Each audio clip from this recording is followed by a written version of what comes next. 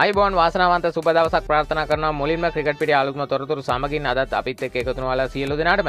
ඉතින් ශ්‍රී ලාංකික ක්‍රිකට් ප්‍රේක්ෂකයන් මේ වෙනවිට මග බලාගෙන ඉන්නේ සිම්බාබ්වේ කණ්ඩායම සමගින් ශ්‍රී ලංකා කණ්ඩායමේ තරඟාවලිය ආරම්භ වනකන් බව අපි දන්නවා. තරඟාවලිය ආරම්භ වීම සඳහා දින වශයෙන් බැලුවොත් තව දින 10ක් වැනි තාමත් පුංචි කාලයක් පමණයි ඉතිරි වී තිබෙන්නේ. මේ වන විට ශ්‍රී ලංකා ක්‍රිකට් ආයතනය විසින් ලාංකික ක්‍රිකට් ප්‍රේක්ෂකයන් බලාපොරොත්තු වූ ක්‍රීඩකයින්ද සහිතව සිම්බාබ්වේ කණ්ඩායමට එරෙහිව ක්‍රීඩා කිරීමට මූලික සංචිතයක් නම් කර තිබෙනවා. මෙම මූලික සංචිතය සඳහා ක්‍රීඩකින් විසි දෙනෙක් ඇතුළත් වෙනවා මෙම ක්‍රීඩකින් විසි දෙෙන අතරින් පුුණු සැසිවලින් අනතුරුව ඒ වගේම ශාරික යෝගතා පරීක්ෂණවලින් අනතුරුව ක්‍රීඩගෙන් පහලොස් දෙනෙකුගෙන් යුත් සංචිතයක් ප්‍රකාශයට පත් කිරීමට නියමිතයි සිම්බාබ්වේ කණ්ඩායමට එරෙහිව එක් දින තරංගාවලිය සඳහා ශ්‍රී ලංකා ක්‍රිකට් ආයතනය විසින් නම් කළ සංචිතය මේ ආකාරයට සඳහන් වී තිබෙනවා. මෙහිදි නායකයා විදිහට කුසල් මෙන්ඩිස් නම් කර තිබෙනවා.